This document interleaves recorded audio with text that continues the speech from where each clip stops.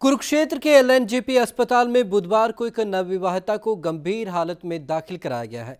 महिला का आरोप है कि उसका पति शराब के नशे में उसके साथ मारपीट करता है और उसने देर रात महिला के साथ मारपीट करते हुए उसे कोई जहरीली चीज़ खिला दी।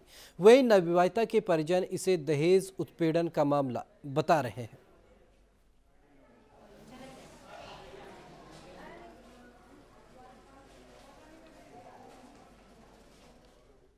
खबरों की दुनिया में आइए। हमारे साथ कहीं भी और कभी भी जुड़िए। हम मिलेंगे फेसबुक पर। हम दिखेंगे यूट्यूब पर। हमें फॉलो कीजिए ट्विटर पर। खबरों के साथ बने रहिए रात दिन।